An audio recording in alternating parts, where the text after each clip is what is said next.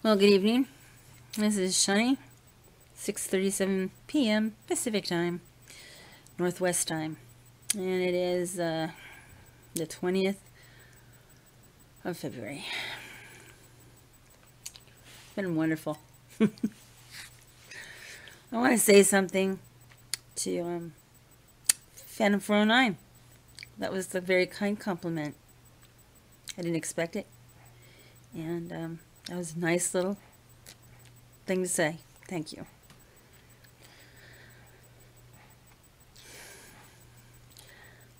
My week has been a little odd. We're still going, when hasn't it been? Hmm. true. Absolutely true. Yeah. So anyway, as you know, y'all, you make jokes about it. How many surgeries does she have? Um, have three in line, and not going to happen. Not really soon, anyway. Um, seems I have a little bit of problem with my heart. Um, which, you know. Anyway, my electrolytes dropped really fast. And, uh, they caught it right at the moment. Um, so my heart rate was 30 and it wouldn't let me sleep. Because if I was going to go to sleep, I'd probably die. In the meantime, they had potassium going in through an IV bag. I'll be honest with you. I have never felt so calm in my life. I stopped caring. I didn't fear anything. And I was okay with just going. Not saying I'm not grateful for to the doctors. Grateful to the doctors, I really am. I um.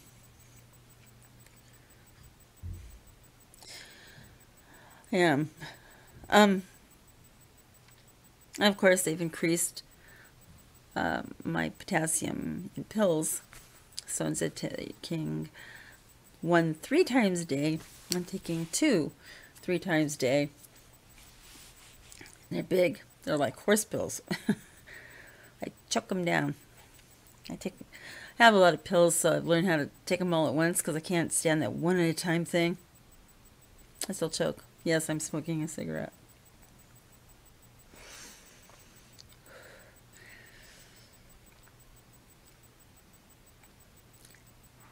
Once said I wouldn't start smoking again, as I thought I was going to die. Well, I don't know, but I'm smoking again. That's one thing that I care about. Well, not the one thing. I got a lot of kids coming in and out of here, so I must care. They wouldn't be here. But I will tell you one thing. That's breaking my budget.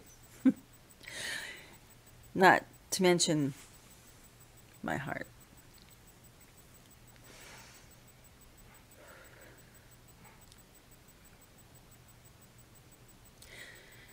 My heart was broken a long time ago.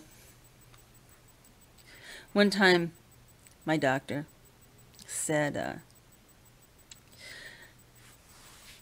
You know what you're dying from? I said, What? Said, You're dying from a broken heart. Yeah, I believe it. I believe it. Got broken when I was a kid, you know.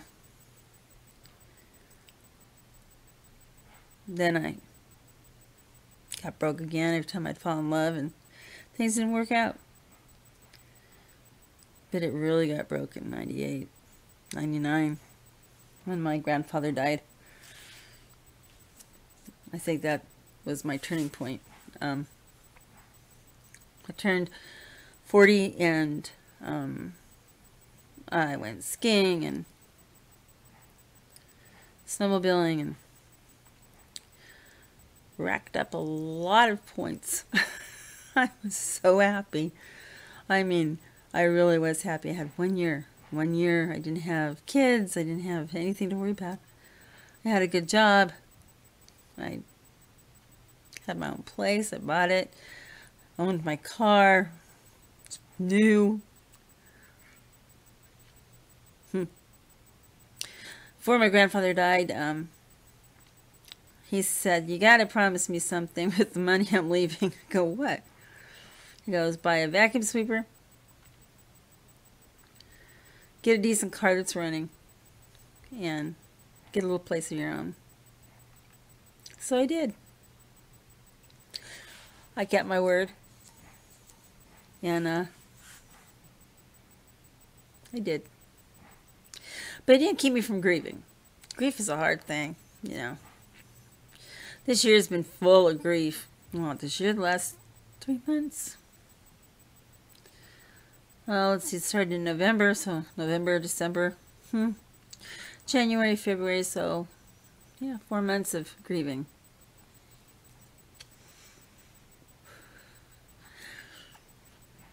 I can't say that um, I, I can't I wish I could make it stop. And I I wish I I just wish everything would calm down. And I wish people wouldn't treat their kids like shit. You know? And I wish more than anything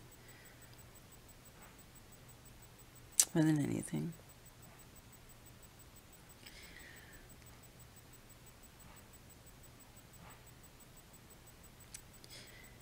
That you don't dump your kid on my front door with all their clothes. Actually, didn't do it on the front door, it was on the sidewalk. Doesn't matter. That happened to me once.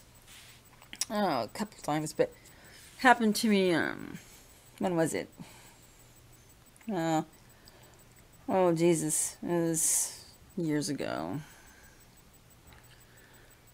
But basically, ended up with a 13-year-old girl. All those boys. Good Lord. And she was with me till she was 18. Where was her mother? Yeah. Where was you? Where were you? I was going through hell at that time. I was working so many jobs. Where were you? Yeah. Where was she? You know, I read about babies, you know, being left in cars, forgotten about during the summer months and the winter months. One time, years ago, it was, God, about 1999, I was at a, um, a bar, and I was watching them play poker. You know? I don't play poker very good. Though I do like Texas Hold'em, it's fun, but I never, I never win. I don't win the games. No, I do win at 21. It's rare. But when I do, I do. It's pretty good. Mm. Anyway. Well, then in comes this woman, and she was a regular. Last time I saw her, she was pregnant. She wasn't pregnant anymore. Yeah, your baby, I said. Yes. Sat there and she was playing cards, you know. And her husband kept kept getting up and going outside. Didn't know what the hell he was doing. None of my business. But then the owner of the bar came over to me and pulled me aside and there was newborn baby in the back seat. In in December maybe it was January it was uh, very cold very very cold. She was in that bar playing cards and left a brand new baby that was a week old in a car seat. Not even a car seat, one of those little things you sit your baby and you know that you can rock them back and forth. Mm-hmm. Um, I just left her there. You know? The owner said to me, what should we do? I said, hmm. call CPS, number one. And two, you call the police. You know. That one stuck out of my mind. And it still sticks in my mind because she's just an example of the worst of the worst.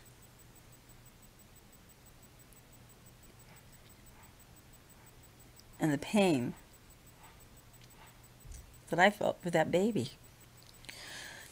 Never to forget that that baby was never taken away. No harm, no foul, I guess. I don't know. I don't know why. But I still think of that little baby. And I wonder how, whatever happened to her, you know. It's just really tiny. I, you know, I know what happened to all the other kids that have come through my door, and they all actually great successes. They have really good stories of their lives, and to be honest with you, that makes me feel good. That's good. You know, they did it on their own. It was hard, but they did it.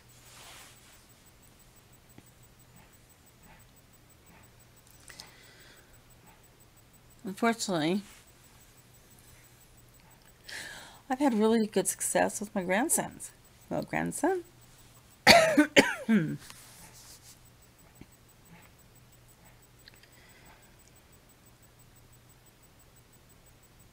I've had great successes successes with my animals, you know.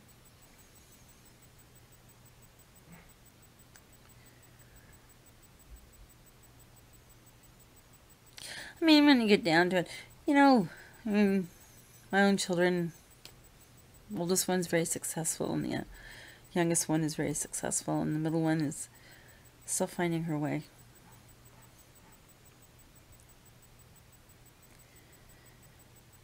But I can't take credit for anybody's success because they do it themselves.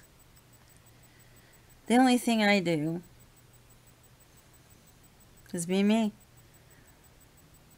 I cared, and what they did with that care is what they did with the care. I mean, nobody can make somebody something that they're not. And nobody should give credit to somebody that didn't do it themselves. I mean, I did myself as far as keeping food in the house and all that, but other than that, you know, I just was not. I was always working. I was always working and stressed.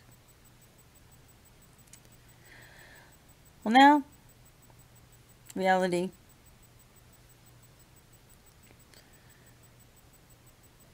I have to make a choice.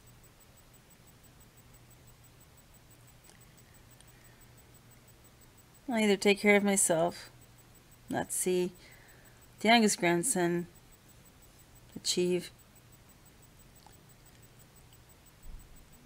or fight and make myself better.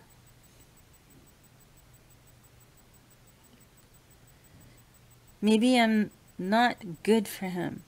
You know, I, I mean, I've, I've thought of that. And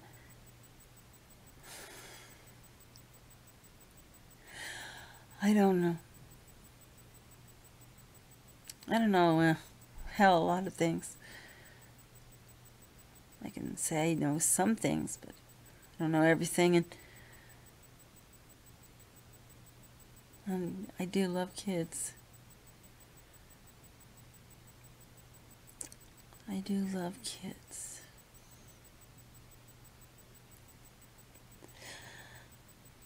So anyway, since I almost died yesterday, I obviously wasn't supposed to. Or I would have. I thought to myself at one time, I'll either be total blackness, or I'll really go to a heaven, or I'll end up in hell. But any of the three ways, I'm going to be gone. Unless you'll believe in ghosts, and, you know, we do have a cow ghost online. It's possible. anyway, I don't have too much to say. Um, you guys have heard it all. You've heard everything.